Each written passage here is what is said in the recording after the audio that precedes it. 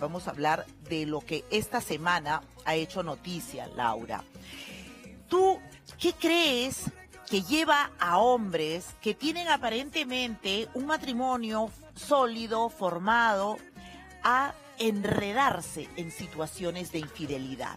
Como Mira. estos casos que hemos visto. No voy a generalizar, pero el hombre siempre es mucho más inmaduro que la mujer, ¿no?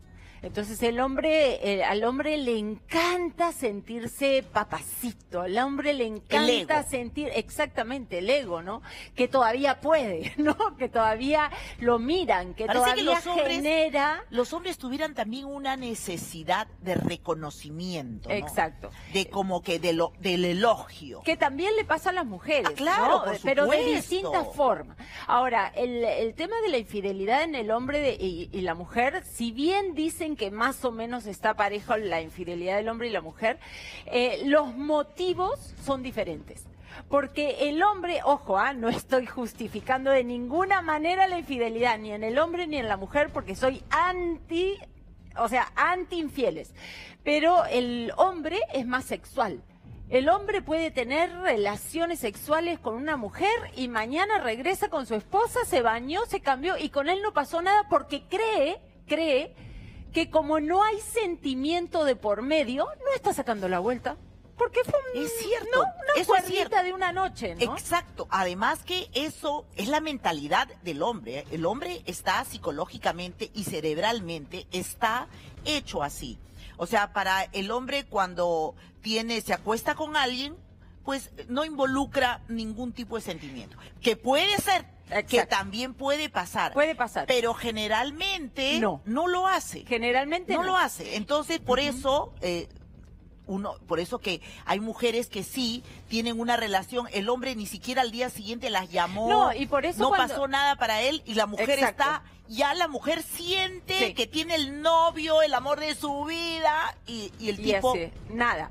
Nada. Y eso que, ah, o sea, está el infiel de una noche que salió con sus amigos, se juerguió y fue, eh, eh, y, y tuvo un affair con una chica de, de una noche. Y está el otro que de repente sí, tiene un amante, un mes, dos meses, tres meses, hasta años, Magali, Ah, bueno, hasta sí, años. claro. Pero día tras día ese hombre por lo general le promete a esa mujer que va a dejar a la esposa Así para es. irse. Y eso casi nunca sucede.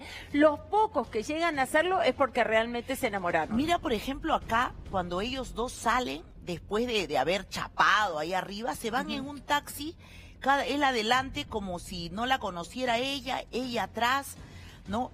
Y además, lo que yo siempre me pregunto es, ¿esto habrá sido solo de una noche? Bueno, eso es lo que nos preguntamos todos.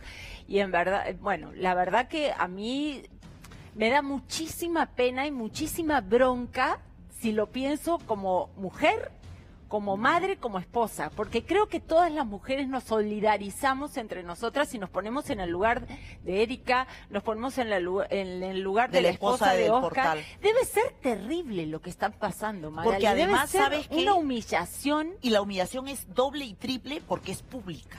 porque es pública. Claro, Vanessa Kimper, la esposa de Oscar del Portal, que ha sido siempre muy perfil bajo, ya no pertenece al mundo de la farándula, debe, debe sentirse pues totalmente devastada. O sea, no solo porque todo el país está hablando de ti, no solo porque quedaste expuesta, porque tus hijos además se van a enterar, por más chiquitos que sean, tarde o temprano, de lo que pasó con papá y mamá, sino porque el dolor de mujer, de esposa, de, de mujer que Porque te está es- esperando en un viaje para pasarlo bonito. porque acaban de cumplir 10 años y, y están felices y haciendo planes a futuro. Él mismo lo declaraba que quería tener otro hijo, que estaban planificándolo.